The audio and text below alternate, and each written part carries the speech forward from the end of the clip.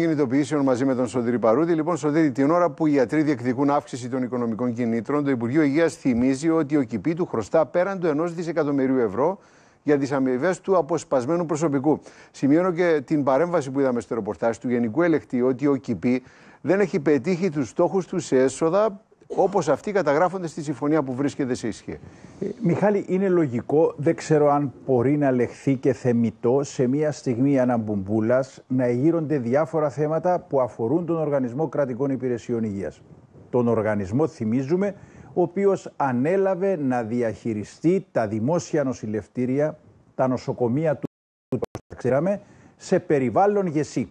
Βασική προϋπόθεση, η οποία δυστυχώς δεν υλοποιήθηκε, ήταν αυτά τα νοσηλευτήρια περιουσία του δημοσίου αξίας εκατοντάδων εκατομμυρίων ευρώ να αυτονομηθούν οικονομικά και διοικητικά. Δηλαδή να έχουν ένα ισοσκελισμένο προϋπολογισμό εσόδων και εξόδων και εκεί όπου προκύπτουν υπηρεσίες που αφορούν στη δημόσια υγεία όπως ήταν για παράδειγμα η πανδημία το κράτος να συνδράμει οικονομικά. Όπως και είναι.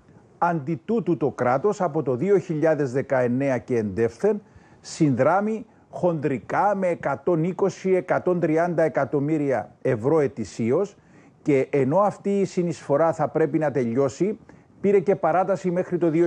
Ωραία. Το ζητούμενο λοιπόν είναι ο Οργανισμός Κρατικών Υπηρεσιών Υγείας να μπορεί να ανταπεξέλθει από μόνος του σε ένα ανταγωνιστικό περιβάλλον, το οποίο είναι και έντονο την συγκεκριμένη περίοδο. Ακριβώς.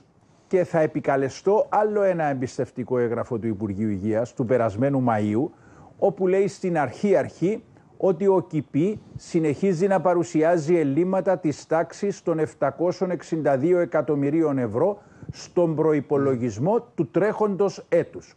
Εάν λοιπόν προσθέσουμε και τις διεκδικήσεις του κεντρικού κράτους που τις είδαμε στην πρόσφατη επιστολή της Γενικής Διευθύντριας με τα 1,3 χοντρικά δισεκατομμύρια ευρώ για τις απολαβές του αποσπασμένου προσωπικού, γίνεται εύκολα αντιληπτό ότι ο ΚΙΠΗ δεν είναι ένας εύρωστος οικονομικά οργανισμός ο οποίος μπορεί να μοιράζει εκατομμύρια υπομορφή μπόνους ή πριν αν θέλετε σε ποδοσφαιρικούς όρους στους εργαζομένους και δι στους γιατρούς.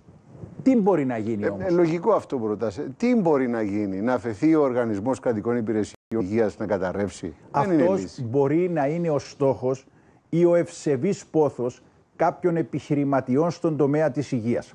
Όχι αλλά δεν μπορεί να συνεχιστεί και αυτή η πρακτική. Να καλύπτει τα ελλείμματα του ΟΚΙΠΗ, το κράτος και σε κάποιες περιπτώσεις και τα χουβαρταλίκια του οργανισμού ο φορολογούμενος πολίτης. Γιατί αυτό είναι φοβερά Εξηγήσαμε και προχθές, όταν ο καθένας από εμάς συνεισφέρει σε μηνιαία βάση στο Γενικό Σχέδιο Υγείας, δεν μπορεί την ίδια ώρα να πληρώνει παραπλεύρος και από το Δημόσιο Ταμείο τον ΟΚΙΠΗ. Σωτήρη, θέλω ένα σχόλιο και για την ε, πολυήμερη απεργία στον κλάδο Παρασκευής έτοιμου χειροδέματο. Ε, θα επαναλάβουμε όπως και στην περίπτωση των γιατρών, Μιχάλη, ότι η απεργία είναι το ίστατο όπλο στα χέρια των εργαζομένων. Στην προκειμένη, η διαφορά στον τομέα Παρασκευής έτοιμου χειροδέματο δεν φαντάζει αγεφύρωτη. Ειδικά όταν ευρύτερα η κατασκευαστική βιομηχανία δεν πάει άσχημα. Το μόνο σίγουρο μετά από τρεις εβδομάδες σχεδόν απεργιακών μέτρων είναι ότι υπάρχουν σοβαρές επιπτώσεις στην οικονομία του τόπου ευρύτερα. Από την άλλη ακούγονται και διάφορα, όπως το ότι κάποιοι εργολάβοι δημοσίων έργων με προηγούμενες ίσως, ίσως και μη δικαιολογημένες καθυστερήσεις συμβάλλουν στην παράταση της απεργίας, της διαφοράς δηλαδή, για να δικαιολογήσουν τις καθυστερήσεις που είχαν ελλείψη αίματος ελαίου απεργίας. Αυτό φυσικά είναι υπομορφή φημολογίας. Λοιπόν, Σωτήρη, περισσότερα για αυτό το θέμα αύριο στις ΕΧΜΕΣ θα είναι το θέμα συζήτησης.